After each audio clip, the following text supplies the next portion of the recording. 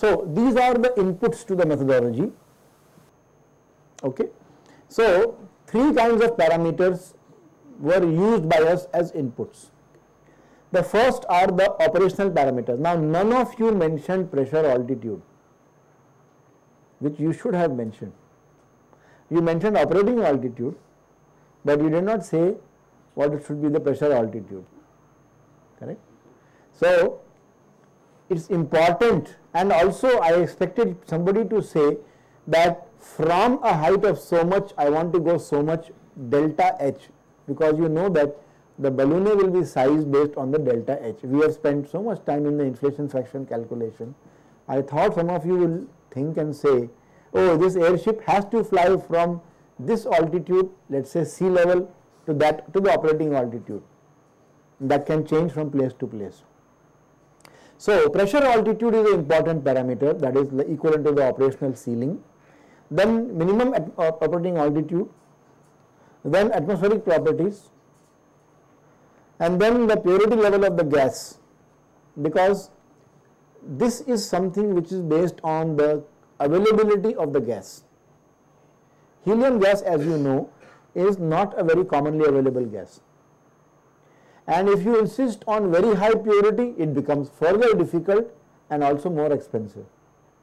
So you may have to make do with helium available at 95 percent purity or at 99.9 percent purity or 99.999 percent purity. This is not in your hands, the cost and the availability are going to dictate. So, helium purity level is the important parameter which we have incorporated. In our 11 parameters, we also looked at helium purity or gas purity gamma as one of our parameters. Then an airship is going to have some accessories, is going to have some other systems which are going to be mounted on it. They will consume power and who will give the power to them? The same engine which is used for the airship. So, how much power is consumed by accessories? So, of the engine power which I generate, what percentage is consumed by other things like fuel pressurization system, like air conditioning system and the remaining will be available to me as a user. Okay. Then performance requirements, this pressure altitude is common and minimum is also common, but cruising speed and range are important. Okay. Now, in, now in our problem here, we were not looking at keeping in the air for long time as a requirement. This was not meant for surveillance. This was meant for transporting goods and passengers. So, therefore, endurance is not there as a given requirement. Range is the given requirement. So, cruising altitude, cruising speed range, minimum altitude from cruising gives you the balloon sizing, sorry, minimum altitude to pressure altitude gives you the balloon sizing and then there are some configurational parameters. Now this is not, these parameters cannot be given by the user. User does not know, does not care about them. But the designer has to assume, otherwise there will be so many things to calculate that you will never be able to make any progress. So certain parameters we have assumed as constants or fixed and we have to change, if you change them you have to do the whole analysis again. So, one is fin layout. Now, what kinds of fins are available for airships? For large passenger carrying airships, do we have any options about fins?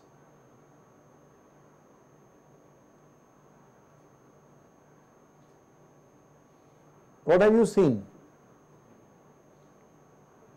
So, what type of fins have you seen in the videos I showed you of uh, airships flying with passengers? What is it? Yes? Delta. No, I am not talking about the shape of the fins. I am talking about configuration. So, there are basically, uh, if you look at, uh, if you look at the airships available, there are two basic types of fins available in literature for conventional airships? Yes. So one is called as the conventional This is the rear view of the airship. The other one are mounted this way.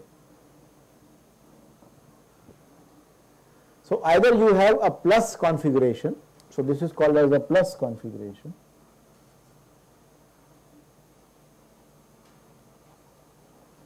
And this is called as a cross configuration. Okay. Now tell me what are the basic differences between these two types of configurations. First of all, which one will you prefer? A plus configuration or a cross configuration? So most of you will prefer a plus configuration. Why would that be? Because the pitch and the yaw motions are uncoupled. Right, because you have two distinct vertical surfaces, two distinct horizontal surfaces. But then, if that is everybody's preference, then why do we have something with cross fins? How will a cross fin get you better maneuverability? So that is pure guesswork. That's not correct. That's not correct. What would be the advantage of a cross fin? So, so the fin on the top comes in the wake region, so the effectiveness reduces in the plus configuration. See, the wake of the bluff body is almost symmetric all around. So, whether you put fin on the top or bottom, wake wise, I don't think there will be lesser or more disturbances. Cross will be more stable than why? Because they are like uh, the horizontal, uh, to balance the horizontal plane, the other will be four planes, compared to two for the first configuration, the vertical. No, but if I have a dedicated vertical on top and bottom, I think the stability of that will be the best compared to a mixed configuration. So I have nothing horizontal, I have nothing vertical in the cross. Yes, Chetan, what do you think? Why no? In fact, no. The small, uh, the size of the fins may not be small because both, all the four fins are supposed to be used for both yawing as well as pitching. So, do you think, uh, oh, what you are saying is that you will use all four, therefore you can have smaller area of each of them. Okay. But you know, only a component, only a component of each is going to do the desired thing. Okay. Anybody else? Yes. Ameya, yes. What do you think? That is the main thing. Remember, we are looking at big and bluff bodies, large bodies. So, if I have a plus fin configuration, everything is fine except that the ground clearance becomes a problem. Bottom fin is going to. So, the, the maximum height of the airship is going to be more. So, the size that goes inside the hangar. So, that is the reason. So, now when you have a cross fin configuration, the only advantage you have is a smaller height. Listen, making a wide hangar is not a big problem. Making a high hangar is a bigger problem. Okay? Making a wide one is not a, never a problem. You just need more area on the land. That's okay. But when you want to, the difficulty is when you want to have make a very high hangar. So that's why reduction in the vertical dimension because of cross fins is one advantage. Many big airships, large airships have gone for cross configuration only and only for this particular feature. But then there is a complication that now the control system becomes complicated. It has to be mixed. So you require a mixing unit. The pilot will deflect the control stick in the desired fashion, but the control system must take over and do mixing. So this leads to complexity. However, in a big airship, you anyway are going to have a fly-by-wire control system to make the system light. So when you have that system or when you have a computer control system, this mixing is not a really big additional complexity. It can be easily incorporated.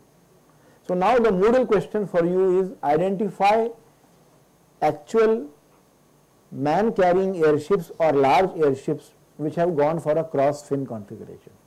And I want to know that their names and maybe a picture and some data and if you can get some literature which says yes a study was done and it was found that cross configuration was better than plus for this particular case, it will be helpful for us to learn more about it. So, okay, so you can choose plus or you can choose cross